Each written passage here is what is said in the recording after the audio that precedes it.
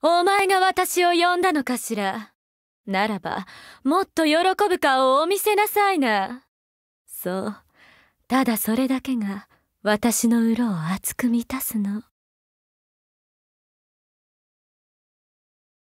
たまに私がクリアに立つとスルトが私を泣いて止めるの。どうにも納得がいかないとは思わない？得意なこと？芸事や舞踊演技については少しばかりの心得があってよ。子供を笑わせるのにとても役に立つのよね。そう来ていたのね。私のかわいいかわいいお前。お腹は空かせてない？痛いところはないかしら。そう大丈夫？ならいいのだけれど。はあ。ようやく夢が叶ったの。ここで私は家族を持った。私はこの町に来て幸せだった。あの子不良ぶってはいるもののあれで完璧に擬態できたと思うあたりがどうにも哀れでどうにも可愛くあることね。暴力におもねる男なんてごめん被る話だわ。でもそうね。あの子からはどことなく母を求める子の匂いがするかしら。あらあらそんな顔してどうしたのかしら。母様に言ってごらんなさい。あなたをいじめる者どもを 可愛がってあげるから。あらあら。ずいぶん控えめなスキンシップね。いいのよ。対面など忘れていいの。存分にこの母の腕に抱かれなさいな。いつからかしらね。あなたのことを。家族としてだけでなくそれ以外の存在としても思うようになったのは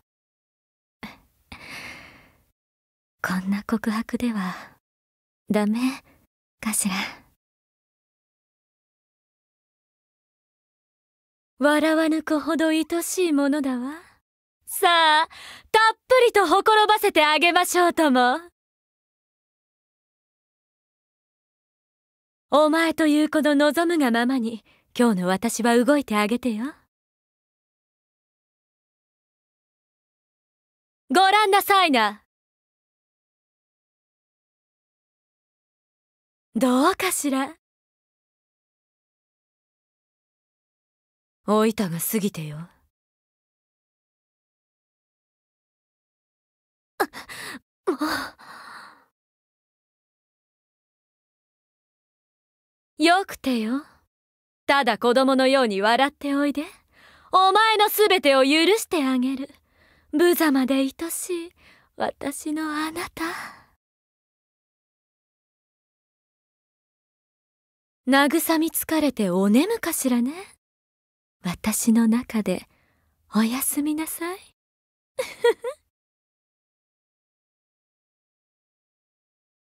まったく。いたずらが過ぎる子だったこと。次こそはしっかりとしつけてあげてよ。ああおかえりなさい。よく来たわね。欲しいものは足りないものはないかしら。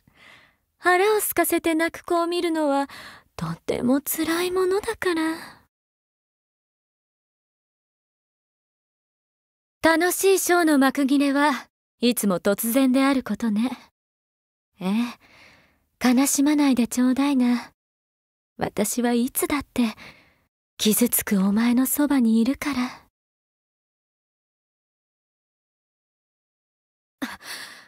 この気配。やはり間違いじゃないようね。うちの家のあのスルとあの筋肉と同じ暑苦しい男の気配がするわ。東京放課後サモナーズ今だけはこの私にわらべのようにお甘えなさいなおぞましき世のすべてからお前を守ってあげるから。